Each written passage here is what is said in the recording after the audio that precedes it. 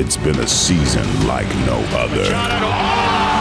A season in which we have come to expect the unexpected. First Aussie to have back-to-back triple doubles. The toughest season yet in the history of the NBL. Abercrombie. Four teams now have a chance to achieve greatness. Oh my glory-filled days. Can anybody beat the might of Melbourne United? Wildcats get their first ever three-peat? Oh, Point play opportunity. Can Brian Goorjian make it a seventh championship? They get the job done.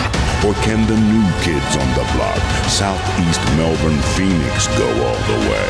Oh my goodness.